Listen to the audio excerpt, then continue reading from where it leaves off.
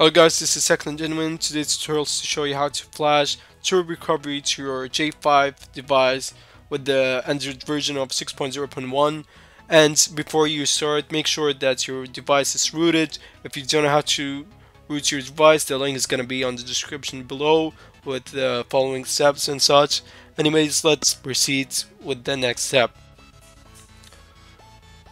Okay, you should download this file. The file is going to be on the description below.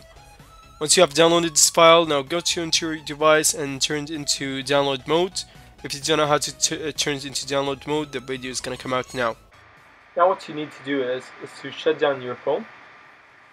So power off and click that button.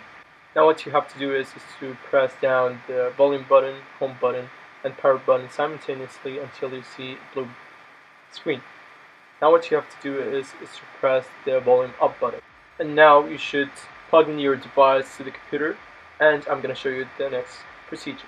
What you have to do is, is to launch this application and you should see this blue box.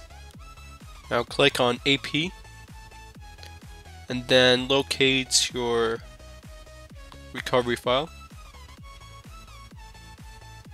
and press start.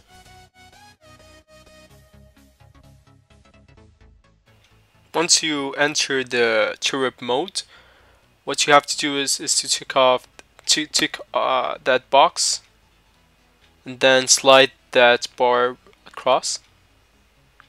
And now as you can see the TWRP is fully working functional on your J5 device.